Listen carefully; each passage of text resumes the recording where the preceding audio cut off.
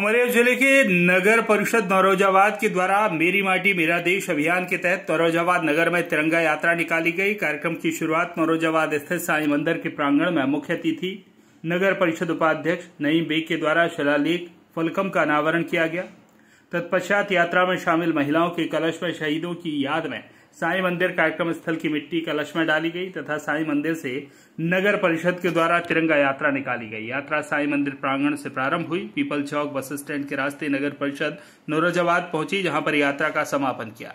कार्यक्रम में मुख्य रूप से नगर परिषद सीएमओ भूपेन्द्र सिंह, उपयंत्री सुखेन्द्र सिंह तोमर, राम मिलन पटेल वीरेन्द्र सिंह, कालीचरण महोबिया, दुर्गा रजक, पार्षद प्रमोद सिंह, गीता पटेल सहित नगर परिषद नौरोजाबाद के समस्त कर्मचारी मौजूद रहे।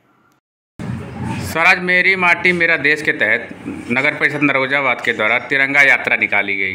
क्या कुछ कहेंगे इस विषय में आप?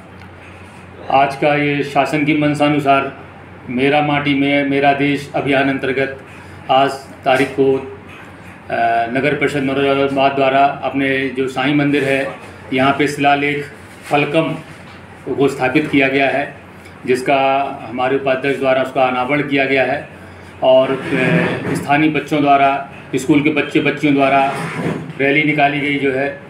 रैली आपका बस स्टैंड होते हुए, आपका पीपल चौक होते हुए हमारे कार्यालय में समापन हुआ और कार्यालय में ध्वजारोहण, राष्ट्रगान के उपरांत कार्यक्रम को जो संपन्न किया गया।